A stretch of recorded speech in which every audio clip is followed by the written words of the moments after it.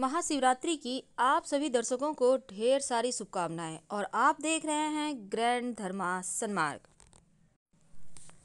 महाशिवरात्रि के दिन भक्त अपनी मनोकामनाओं की पूर्ति के लिए शिव जी को तमाम तरीके वस्तु अर्पित करते हैं। लेकिन आज हम आपके दुख को, चिंता को समाप्त करने वाली, आपके जीवन के आर्थिक मुश्किलों को दूर करने वाली, नौकरी व्यापार में उन्नति दिलाने वाली एक महाप्रयोग बताएँगे।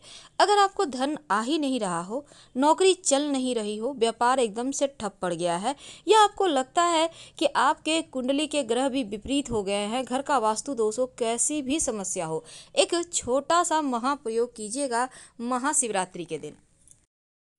पास के किसी भी शिव जी के मंदिर में जाकर ये प्रयोग करना है। घर पर ये प्रयोग आप नहीं करेंगे। एक लोटा जल और नंगे पाँव जाइएगा घर से। हाँ आपके घर से अगर शिव जी का मंदिर दूर है तो आप किसी वाहन का प्रयोग कर सकते हैं। पर जल लेकर नंगे पाँव चले तो वो तीर्थ धाम में, बोलबम में जल अर्पित करने के जैसा पुण्य फल देता है। तो एक लोटा जल और एक काली मिर्च, सात दाने काले तिल के लेकर पास के शिव जी के मंदिर में चले जाएँ।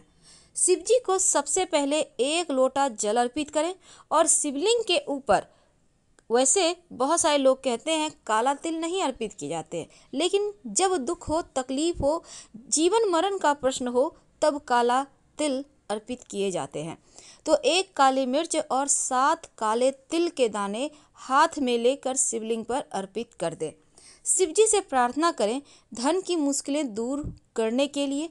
जीवन में जो परेशानी है, चाहे वो कोई भी परेशानी हो, कैसी भी मुश्किलें हो, उनसे प्रार्थना करें। यकीन मानिए, मुश्किलें समाप्त हो जाएगी।